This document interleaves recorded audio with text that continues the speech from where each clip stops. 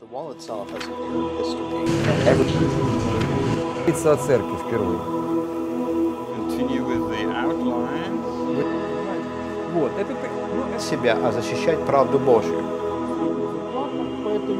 Это классическая история. Люди время стал Антиох Эпифан.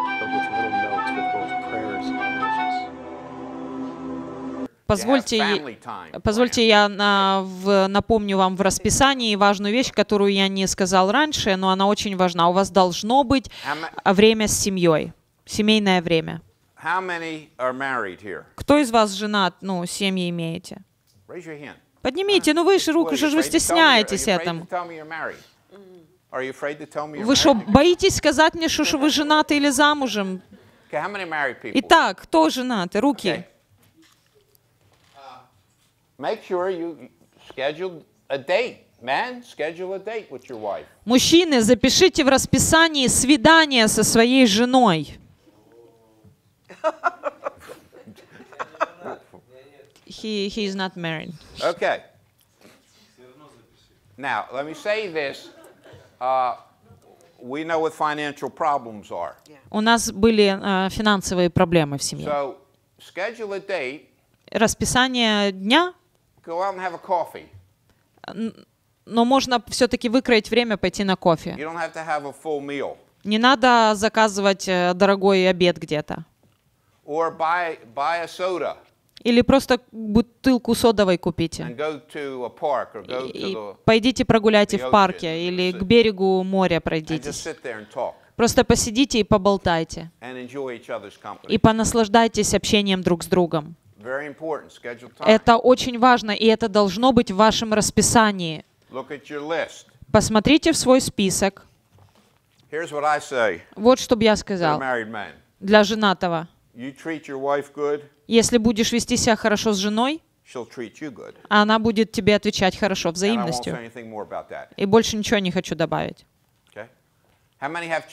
У кого из вас дети есть?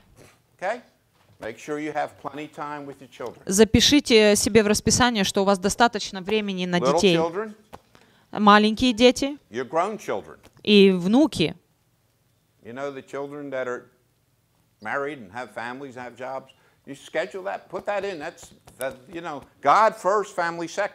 Бог первый, семья второе. Так что если у вас есть э, дети, внуки, э, семья, вы должны этому уделять вре- время. время. Запишите это. Семейное А. время.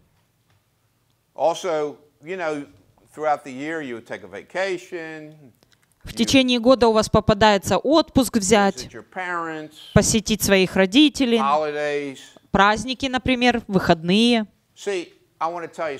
Я хочу вам кое-что сказать. Каждый ребенок в Америке, каждый мечтает жить в Украине. Знаете это? No. Every They not believe. Каждый ребенок в Америке мечтает жить в Украине. Знаете почему? У вас два Рождества. Я не понимаю этого. У вас два Рождества, у вас два Новых года, два, две Пасхи у вас. И еще и me. Для меня это перебор. Anyway, holidays. Короче, ради ваших праздников сюда дети хотят. Распишите свои отдыхи, а, поездки, выходные, а, ретриты в общине. Это должно быть в вашем календаре и вашем расписании. Я хочу вам кое-что сказать. Uh, uh. До того, как Рик закончит сегодня учить. Uh, Мы любим вас всех. Хорошо? Uh, И мы здесь для вашего успеха. Мы а, пытаемся заботиться о вас. Вот почему мы здесь. Мы заботимся о вас. Uh.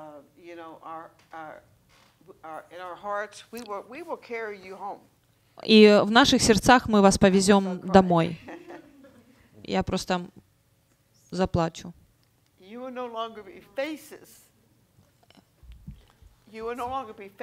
Вы э, не просто лицами останетесь для нас. Вы будете семьей для нас. И я хочу сказать вам, и это не для э, formality. Не, это не формальность. Это вопросы семьи, это о семье. И мы здесь для того, чтобы помочь друг другу. И чтобы ободрить друг друга. И чтобы поднять и построить друг друга. И то, что Рик говорит вам, а, а, как учитель, husband. но я хочу сказать о нем как о своем муже. Он говорит вам как отец. He's trying to help you. Он хочет помочь And вам. if you will have a heart to receive this, И если у вас только будет сердце принять это, it will help you. оно поможет вам. Хорошо? Thank you. Okay. Now, let's open up to Matthew chapter 25. Давайте откроем Матфея 25 главу. We're talking about God owns everything Мы говорим о том, что Бог владеет всем. and he gives us many, many blessings. И Он дал нам много-много благословений. He owns all the blessings. Он имеет все He owns благословения. all these good things. Он имеет все это хорошее. Но когда мы на этой he земле, Он дает нам вещи, и мы Его управляющие. Мы Его а, слуги, управляющие. Всем тем, что Он дал нам. Аминь. Now let's look at Matthew chapter 25 Поэтому давайте посмотрим Матфея 25 and begin главу. uh, verse 14. И начнем а, с Matthew 14 стиха. 25, 14, the parable of the talents. Мы здесь читаем притчу о талантах. И я знаю, что вы знаете ее, но давайте глянем на нее еще разок. Okay. Verse 14. Слово, э, стих 14. «Ибо он поступит так, как человек, который, отправляясь в чужую страну, призвал рабов своих и поручил им имение свое». A man is going on a journey, А человек едет в путешествие, and if you read the whole con- uh, uh, parable, you know he was a rich man. He was a и, wealthy man. и если вы читали всю эту притчу, вы знаете, что он богатый человек, состоятельный. Also know he was rich because it says in verse 14, И также написано в 14 стихе доказательство, доказательство того, что он богатый. Он призвал своих рабов, то есть у него были рабы. Он имел а, рабов. И здесь написано, что он поручил им свое имение, свою позицию дал. И вот здесь богатый человек, а, он имел а, рабов в те дни и а, занимал а, позицию, то есть он имел владение, многим имел. And he starts giving them over to his slaves. И он поручил свое имение своим рабам. Одному он дал пять талантов, другому два, и еще одному один. Каждому согласно своим способностям. Потом он отправился в путешествие. Вне- э, мгновенно. И тот, кто получил пять талантов, тут же пошел и употребил их, и приобрел еще пять. Okay? Да. way, Таким же образом, two тот, у кого было два таланта, он заработал еще два. Right, you, you know. Вы знаете это, да? But the man who had received one talent Но тот, кто принял один талант, went off, а, вышел, dug a hole закопал in the ground, в землю and hid и скрыл his master's money. серебро своего господина. Okay? We gave one person five, У нас есть человек с пятью талантами, и он заработал еще пять. У нас есть человек с двумя талантами, и он получил еще два. И затем одному дали один талант, и вместо того, чтобы умножить этот талант, Он спрятал. он спрятал деньги господина своего. You got the picture. У- картину увидели, да? It's the master's slaves. Это раб господина, He owns them. он владелец э, этих рабов. It's the master's possessions, Это имение money. господина, это его and деньги, he owns them. и the он, money. и он владел этим всем. Now, verse 19. No. After a long time, И давайте прочитаем 19 стих. a long time, По долгому времени, the то есть master of those slaves came back and settled accounts with them. приходит господин рабов тех и требует у них отчета. Now, look at me. Посмотрите на меня. After a long time, the master comes back. После долгого периода времени господин вернулся. The man who got five talents, Раб, у которого было пять талантов, talents, у которых было два, talent, было два таланта и один талант, у них было одинаковое количество времени для того, чтобы быть продуктивными. Аминь. Хозяин оставил. И потом вернулся. Для всех трех вовлеченных в это событие а, был одинаковый отрезок времени.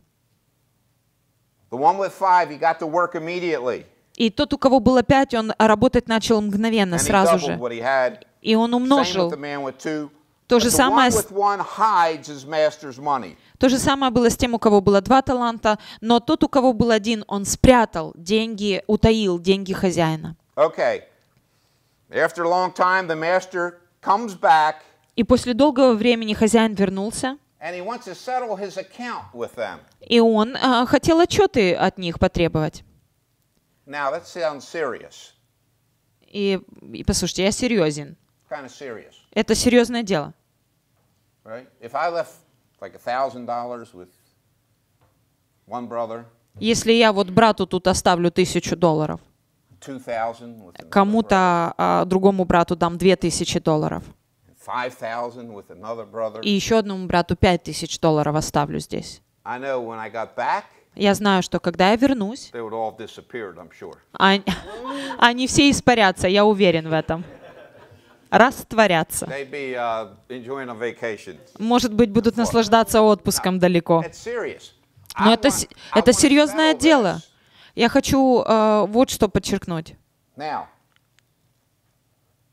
the man that had received five talents Человек, который принял э, пять талантов, approached the master, э, approached, went to the master. пришел к He said, господину Look, five talents you gave me, и сказал, вот пять талантов, которые ты дал мне, и я сделал еще пять, заработал. Now, you read the Bible, the guy who was given five and earned five, he goes right to the master. И вы читали эту притчу и знаете, что тот, кто был доручено ему пять, заработал еще пять, он зашел сразу к господину своему.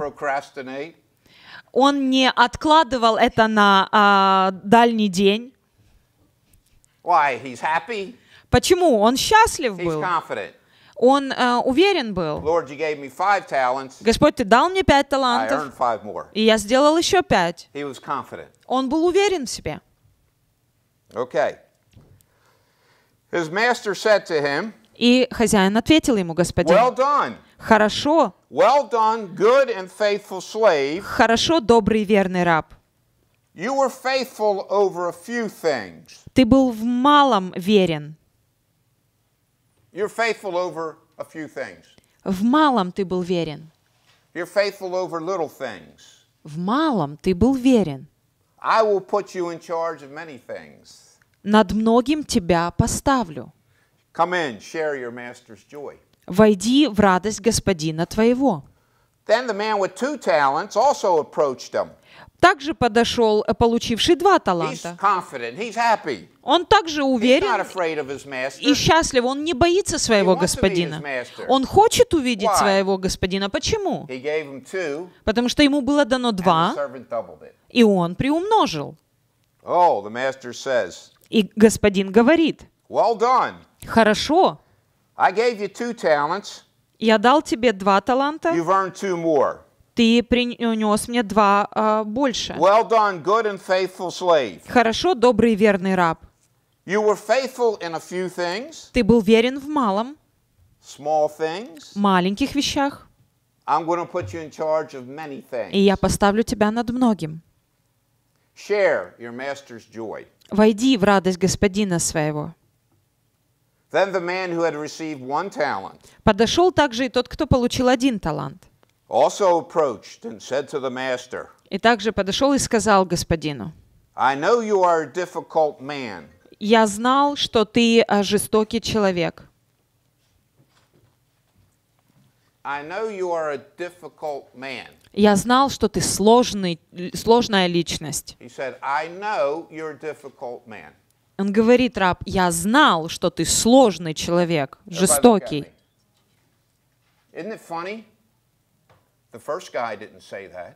Это правда, это смешно звучит. Первый не сказал этого.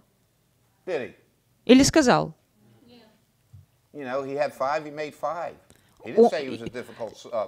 Ему дали пять, он еще пять заработал. Он не сказал, что у него сложный господин, жестокий человек. Второй тоже не сказал, что с господином сложно. Но третий, I know you're a difficult man. я знал, что ты человек жестокий. Reaping where you haven't sown and gathering where you haven't scattered seed. Жнешь, где не сеял, и собираешь, где не рассыпал. So I was afraid. И я, убоявшись, I had fear. у меня был страх, Fear is the opposite of faith. и страх — это а, противное от веры.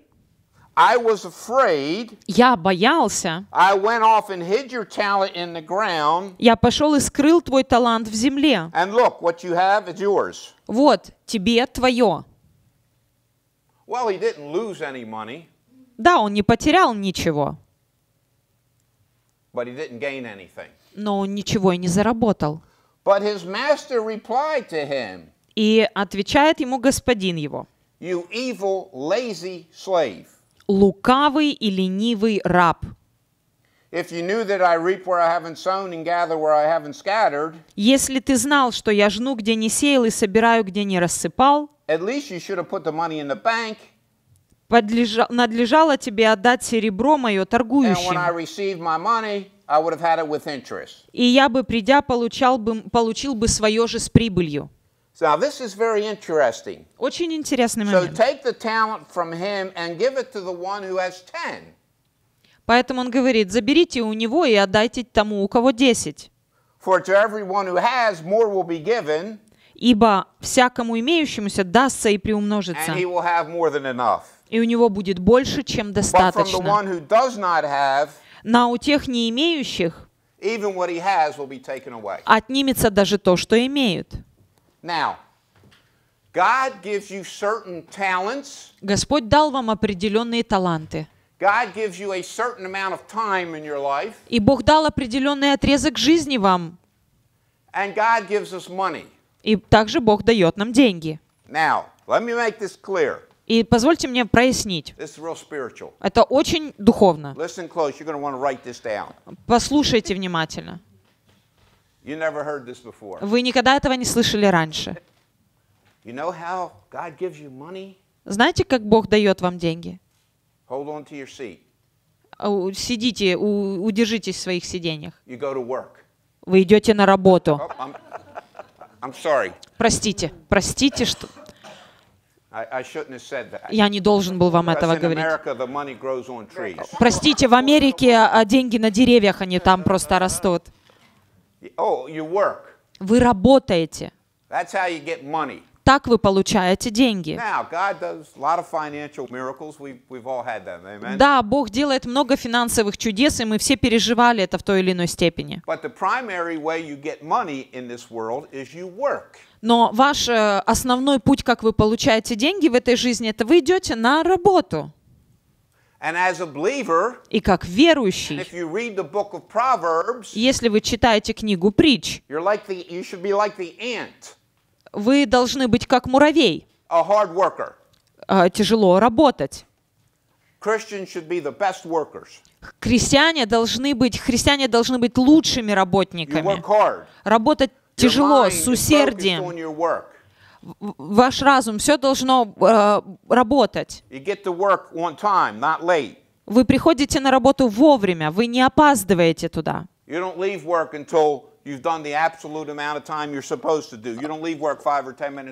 Вы не покидаете работу на 5-10 минут раньше, э, пока не сделаете все, что вы должны сделать там. И есть еще одна вещь, которую вы не делаете на работе. You play while you're, you know. Вы не играете в телефонные игры и не звоните по Can I телефону, help you? Text. и не пишите смски. Yeah. Okay. Uh, this video. I know. What can I do for you? Вы не говорите, э, не отвлекаетесь от своей работы. I need my grass cut. This is true story. He needed grass cut. in my А, house. Мне надо подстричь траву, газон возле дома. И мне надо было постричь свой газон. Это реальная история. И я нанял людей, э, чтобы они подстригли. И это благословение быть хорошим э, управляющим, слугой. So there's a 19-year-old boy lives right next to me, И вот живет 19-летний парень недалеко от меня. И я сказал, хочешь подзаработать денег? "Oh Он definitely." сказал, да, конечно, хочу. I said, "I'll give you $15 an hour. И я сказал, я дам тебе 15 долларов в час, постриги мне газон. It's pretty good, pretty good pay." Хорошая оплата. So I'm at one end of my yard washing my car,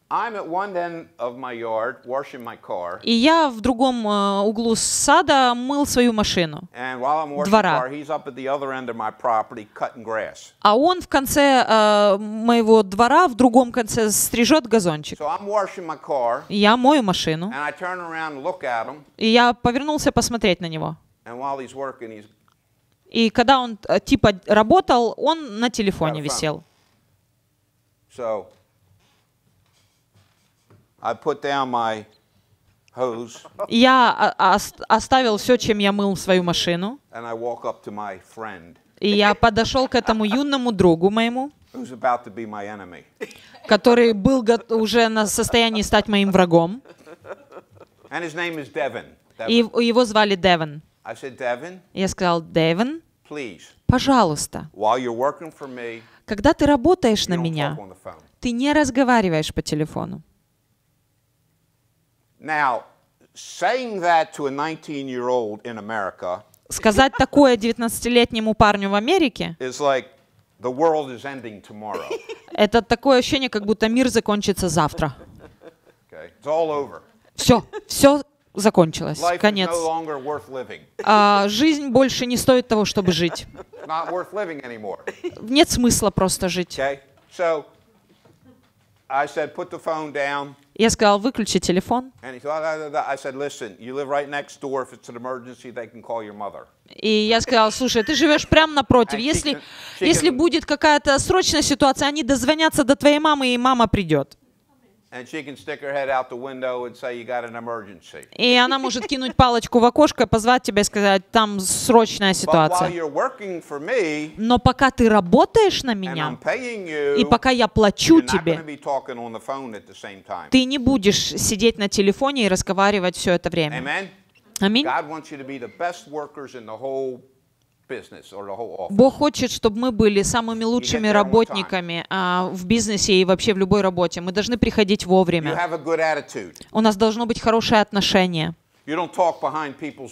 Вы не из тех людей, которые должны говорить за спинами других людей. Вы должны уважительными быть к вашему начальнику. Вы под его властью. Вы должны послушаться своей власти. Here's what I'm saying Вот что я вам говорю. with the word saying. Вот что Слово говорит. God expects us Господь ожидает, чтобы мы, to show a profit, to be productive. чтобы мы приносили плод, чтобы мы были продуктивными. See, they all had the same amount of time. У нас у всех одно и то же время, The master expected productivity during that same amount of time. и хозяин ожидает продуктивности от одинакового куска времени выделенного. Time, Тот же количество времени хозяин ожидает умножения. Он не хочет, чтобы вы оставались на том же уровне. И, Библия говорит, что у кого было пять и у кого было два, они тут же принялись за работу. They got busy immediately. Они стали заняты сразу. They used their time properly Они разумно использовали свое время and the talents that God gave them. и таланты, которые Бог дал им. And they produced fruit. И они произвели плод. God expects you to use your time properly Бог ожидает, что вы будете разумно и правильно использовать свое время and your talents and skills. и свои дары и умения.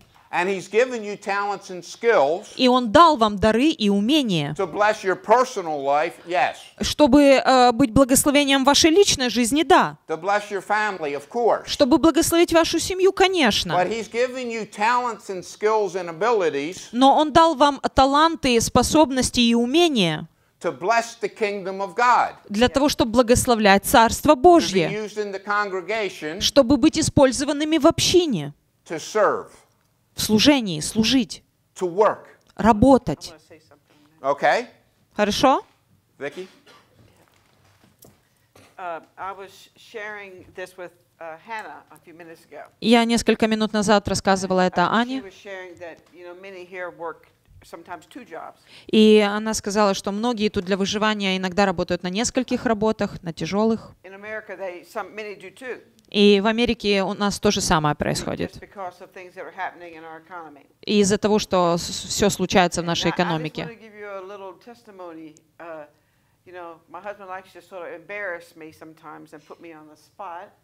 А, Хочу вам поделиться своим свидетельством. Муж иногда а, с- смущает меня. И я не хочу, чтобы он обо мне говорил при всех. Так что сейчас я поговорю о нем. Oh Это хорошо, это нормально. uh, uh, uh, У нас трое детей. and uh. И мой муж, он работал на своего отца, на его And, бизнес. uh, uh, И мы еще не были на полновременном служении тогда, но мы всегда были верны а, делам церкви. Мы не были а, на оплате в церкви, но мы были вовлечены в церковные служения. Uh,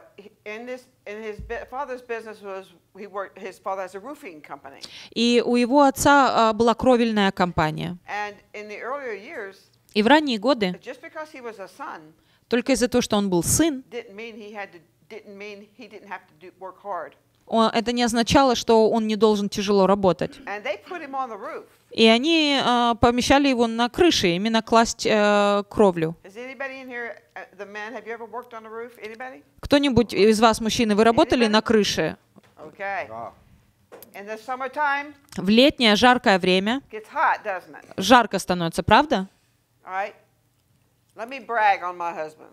А, позвольте по- похвастаться своим мужем. Множество дней в жару he would work 12 hours a day. он работал по 12 часов в день. И, и для него это никогда не было оправданием, чтобы не провести время в чтении Слова, чтобы не провести время с Богом. Он просто вставал раньше, и он искал Бога. И это было с первого дня нашей свадьбы. Когда он возвращался домой, он проводил время абсолютно с каждым из наших трех детей. Он делал все, что необходимо было. И в течение недели у нас были служения с людьми. Мы всегда были вовлечены. Мы делали все. И он никогда не использовал свое рабочее расписание на работе как оправдание не делать то, что Бог призывает его делать в служении. Он не учит вас чему-то, что он не практикует в своей ежедневной жизни. Now in our life, Сейчас в нашей жизни, знаете, что Господь сделал? Uh, Сейчас мы а, были высвобождены от такой публичной работы. И угадайте, что? А, отец принял решение на работе продолжать платить ему зарплату. А ты есть по миру и служи. И а, церковь также а, благословляет нас. Время. Мы расписываем наши служения. А, Никто не стоит над нами и не пытается сделать из нас тяжких работников таких. Понимаете, что я вам пытаюсь сказать? Мы не использовали никаких оправданий, когда были моложе, когда у нас было преисполненное расписание. И сейчас мы продолжаем дисциплинировать свою жизнь, встречаться с людьми. Мы заняты с людьми, с Богом. Мы ездим в народы, мы учим в разных школах. У нас есть внуки, и у нас есть правнук. Да, у нас есть дети, внуки и правнук. И мы не останавливаемся и не, и не стали делать меньше. И Бог благословляет нас больше, больше и больше. И это то, что Рик пытается вам донести. Есть времена, когда вы должны делать то, что Бог призывает вас делать. Thank you. Wow. I'll have to increase her allowance. He just did. You know what it is? Я должен э, увеличить нашу э, зарплату. Нам надо по- поощрение, нам much надо. yeah. Now, Это шутка. uh, Vicky, uh, w- you, this is true. We, we're in a good place in our life. Это правда. Мы э, то, что поделилась Вики, но мы в хорошем месте в нашей жизни. We, Мы сейчас работаем сами на себя, служим. Мы не имеем начальников над нами. У нас есть, слава богу, деньги. We have a nice house, building a new house. М, У нас есть дом и строим новый. И сейчас, как говорят в Америке, можно поспокойнее жить, расслабиться немножко. But what happened, and I, I, just, the Holy Spirit's kind of just showing this to me now. И сейчас Дух Святой мне напоминает э, вещи. До того, как мы получили такую замечательную позицию в нашей жизни, Господь- показал мне, как важно управлять своим временем, моими талантами и моим сокровищем. See, He was teaching me that Он научил этому меня, In your 20s and 30s. when I was younger. когда я был гораздо моложе. Now, Сейчас He knows He can bless me Он знает, что Он может благословить меня, потому что в моем разуме, и понятно, надо признать тот факт, что я становлюсь старше, старею. Но мое время, оно драгоценно. Каждая минута важна, потому что Господь ожидает, что я буду использовать каждую эту минуту разумно. И я размышляю об этом регулярно. Используйте свое время.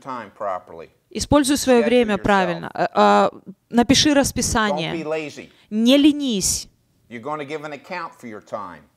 А, Ты дашь отчет по своему времени. Use it wisely. Используй его мудро. Use it for the kingdom. Используй его для царства. And because of what the Lord has done in the past И из-за того, что Господь сделал в прошлом, and how He's blessed us now, и как Он благословляет нас сейчас, we can do more for the kingdom. мы даже больше можем делать для царства. We want to do more. И мы хотим делать больше. slowing down. Мы не, тор- doing more than we've ever done. мы не тормозим и не а, успокаиваемся. Мы делаем сейчас даже больше, чем делали ранее. И у нас могла бы быть очень легкая жизнь. pleasure, pleasure, pleasure, И просто наслаждаться, наслаждаться, наслаждаться можно fun, было. fun, fun. Веселиться, веселиться. no, Но нет. We're having more fun У нас даже больше веселья, using our time используя наше время talent и используя наши таланты treasure и наши сокровища для Царства Божьего. Okay. Now, Итак,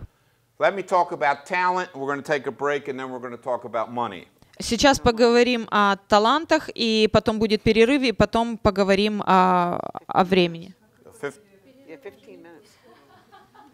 There's 15 minutes. No, uh, no break. It's last Oh, I 15 thought we minutes. had another hour. Oh, you're thinking of the No, normal. You it's don't have fine. an hour. All right, I'm sorry. I thought I had an hour Простите, and я 15 думал, у нас еще один часик есть. You know, it's funny. Uh,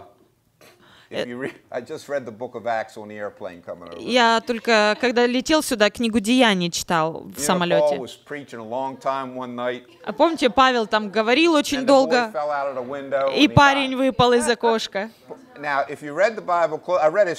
Я читал- Я читал э, это дважды. Если вы читаете это внимательно, а, написано, что парень воскрес, да, за парня помолились воскрес, но Павел продолжал говорить достаточно долго после этого еще. Так что-. Парень выпал, умер, его воскресили, вернули к жизни, но это не остановило Павла проповедовать еще дальше. Итак, да, поехали. Хочу сказать вам вот что. Это важно. You will never walk Вы никогда не будете ходить in God's best. а, в самом лучшем Божьем. You will never walk in a life of abundance Вы никогда не будете э, жить э, жизнью в избытке, until you've gotten victory пока вы не достигнете победы in the area of money. в области денег. Now, I know Americans, they talk about money too much. Я знаю, американцев говорят о деньгах чересчур много. But let me give you an example. Но позвольте дать вам пример. Пару лет назад а, нас Господь благословил финансово, меня и Вики. and we're spending time with a Ukrainian pastor. И мы проводили время с украинским пастырем. Absolutely not Это не была. Это не была сестра Татьяна с ее супругом Валентином, э, это были пастыря с другой части Украины. У него не было денег, у меня было много. И когда мы были вместе, знаете, кто говорил о деньгах больше? Кто употреблял слово «деньги» чаще? The other guy. Тот пастырь. You know, I'm enjoying life. I'm ministering, I'm fellowshipping. Я наслаждался жизнью, я служил, э, служу, общаюсь с людьми. А у него постоянно на языке о том, что нехватка денег, нужны деньги, надо деньги. So, money is a reality in life. Деньги, да, это реальность в жизни. Now, quickly, they know about tithing, right, Sister Tatiana? А, Вы знаете о десятине, да? И пожертвованиях. What is a tithe? Что такое десятина? What's a tithe? It's first what belong to God. It's first. How much? Сколько это? 10%. Okay, 10%. Хорошо. 10%. Tithe. Десятина. So, Итак, you make a thousand grivna, 3,000, 5,000 гривен salary. okay, make a thousand grivna. Давайте возьмем, например, тысячу гривен. How much goes to the Lord? Сколько отдаете Господу? 100. 100. You know that. Знаете это, да? Are you doing it? Делаете это? Don't raise your hands. Не поднимайте руки. You should be doing it. Вы должны это делать, исполнять. К дополнению к десятине вы даете пожертвования. И Господь не указывает, сколько процентов должно составлять ваше пожертвование. Но вы даете что-то. Okay. So, the Lord owns all the money.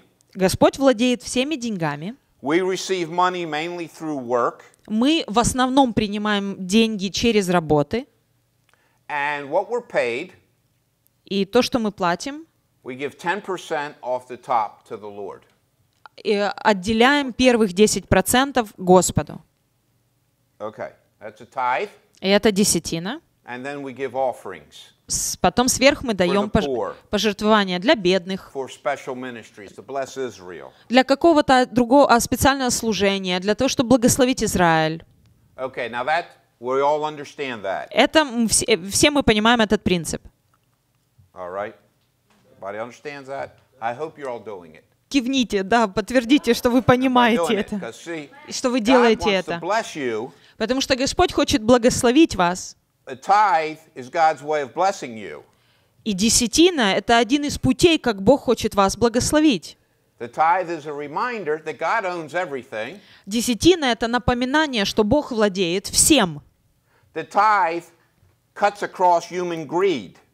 А, десятина, она а,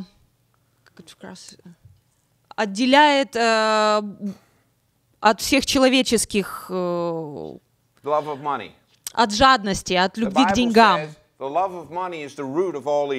И Писание говорит, что любовь к деньгам — это а, сребролюбие, грех всех грехов. Да? Не написано, что деньги — это грех, но любовь к деньгам. То есть тогда, когда вы отделяете десятину, that breaks это разрушает и наносит разрушение к любви к деньгам в вашей жизни. И, у, э, и отдаляет это от вашей жизни, и также страх удаляет. И десятина — это а, знамение вашего доверия, это вера в Бога.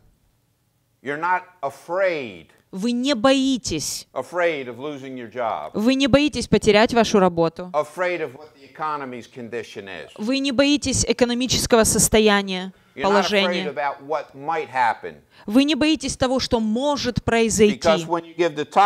Потому что когда вы отделяете десятину, это разрушает этот страх и производит веру. И Господь благословит вас взамен, в обратном. И какой самый э, основной путь, как Бог благословляет вас финансово? Через вашу работу, да? Он ожидает, что вы будете работать усердно, он, что вы, у вас будет работа, что вы будете работать с усердием и в служении будете.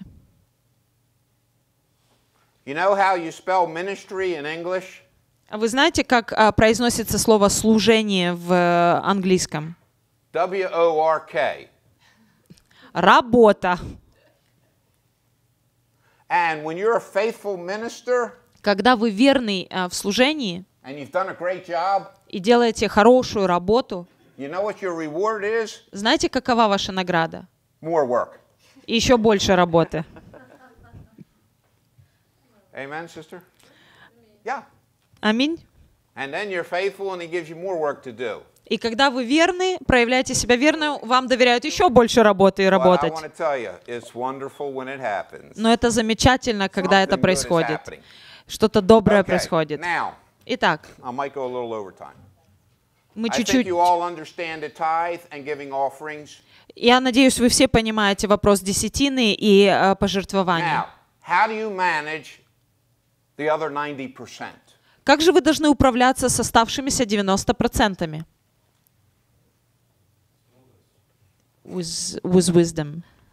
Very good. Очень хорошо. What's the first step in wisdom with your money? Какой же первый шаг с мудростью в вопросе ваших денег? What you say? what you say? To have food. To have food. He's young, isn't he? Okay. Very good. Это в тебя молодость говорит. Thank you. The first step is you have a written budget. Первое, что у вас должно быть, это написанный бюджет.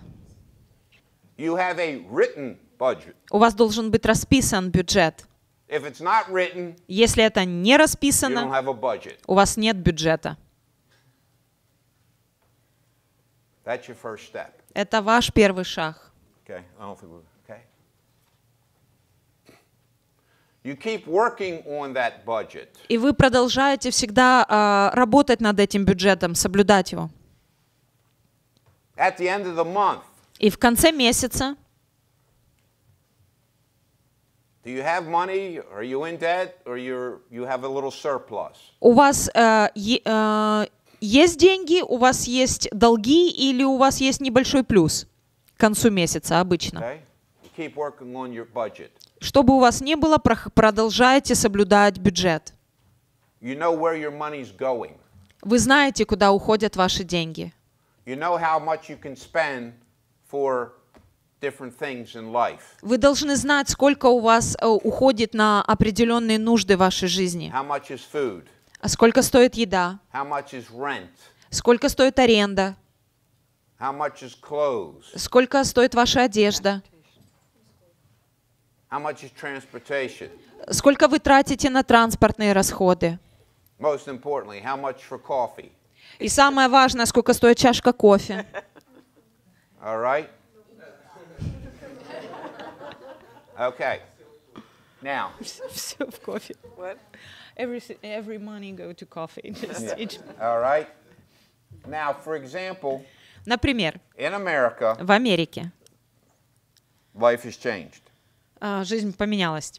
We were young. Мы были молоды, We had six children in our family. а у нас в семье было шестеро Your детей. mother cooked the meals. Э, м- Мама готовила обед.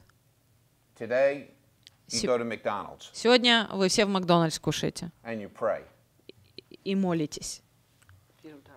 Okay. We eat out a lot in America now. You eat to- out at restaurants. Мы очень много кушаем сейчас в Америке и очень часто в ресторанах. И это забирает много денег.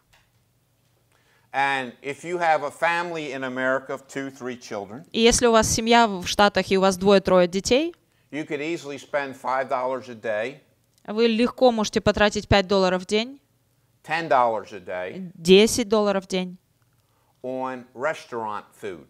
На а, ресторанную еду. Now, if you spent $10 a day Если вы тратите на это 10 долларов в день, and in one month you work 20 days in the month or 22 и days, если в месяц вы работаете 20-22 дня, there's $200. и э, на еду уличную вы тратите д- 10 долларов, это 200-220 долларов в месяц. And you don't know where it went. И вы не знаете, куда оно исчезает. And I don't understand it. Every month we're in the red. И всегда оно в, в- мы в минусе, в красном. Красный Okay. цвет, то есть минус.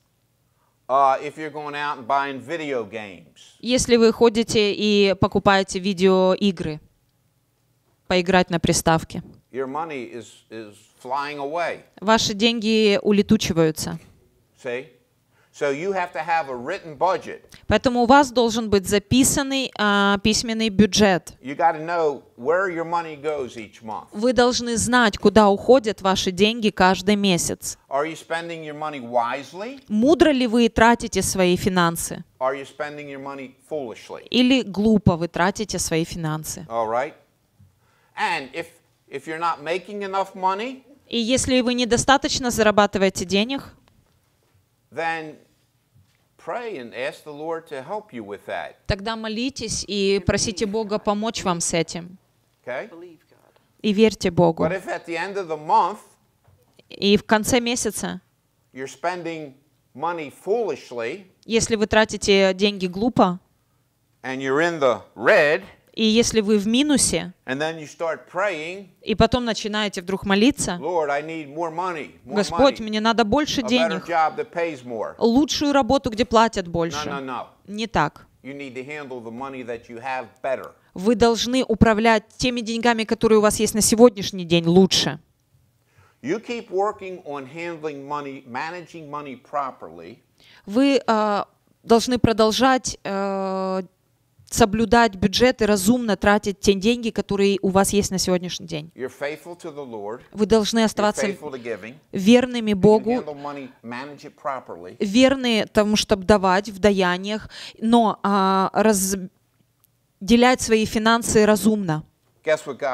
И догадайтесь, что Господь сделает. Он даст вам тогда больше. Сверхъестественно. И иногда это будет сверхъестественно.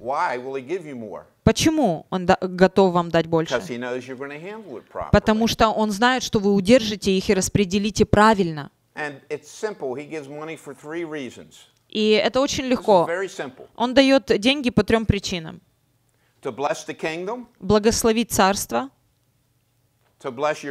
благословить вашу семью и благословить других людей. This is simple. Очень все просто. He gives money first to bless the kingdom, Он дает, во-первых, деньги, чтобы вы благословили царство, bless your family, чтобы вы были благословением семье своей and to help other people и чтобы помогали другим людям in other situations. в разных ситуациях. Very simple. Очень просто. Based on economy either. Right. Now, the amount of money Количество денег, которое приходит в вашу жизнь, is not based on the economy, оно не основано на экономическом положении. is not based on the government, Оно не основано на государстве. is not based on the stock market, Оно а, не основано, не зависит от э, супермаркетов. it's not based on how many На, от рынка, от падения а, и курса рынка. А Это не зависит от того, сколько э, траншей заходит в вашу страну. Количество денег, которое приходит в вашу жизнь, зависит от одного и единственного, от Божьей экономики. And А с его экономикой нет никаких падений и нет никаких проблем. no lack. Никакого, нет нехватки в его экономике. И а, многие вокруг вас, в окружении могут э, страдать от нехватки денег. But if you've been faithful to give to God, Но если вы будете верны в отделении, во-первых, Богу, to manage your money properly, разумно управлять оставшимися финансами, bless others, благословлять других, understand He owns that money, понимать, что Он владелец этих денег, но Он дал их вам для того, чтобы вы управляли ими разумно. Тогда как верный слуга, которого было пять талантов, он даст вам пять больше. And the faithful talent, faithful servant who had two talents, И верный, у которого было два таланта, He'll give you two more. он даст еще вам два. But they had one. Но тот, у кого был один, said, "You're difficult, master. он сказал, ты жестокий хозяин. И я боялся, I didn't do anything." и я ничего не сделал. И э, хозяин сказал, ты ленивый. And he takes the one away from that person. И он забрал тот один талант от него. And who's he give it to? И кому же он дал его? The guy's already got 10. Парню, у которого уже было 10. Now he's got 11. Теперь у него 11. That's God's economy. Это Божья экономика. Be faithful in little things, Будь верным в малом, and God will trust you with more. и Бог доверит тебе больше. Do practical things well. Делай а, практические вещи, задания а, хорошо, He'll give you spiritual blessings. и Он даст тебе духовное благословение. Be faithful in small things in ministry, Будь верен в маленьких вещах в служении, and He'll give you great things in и Он даст тебе великие дела в служении. Amen. Аминь.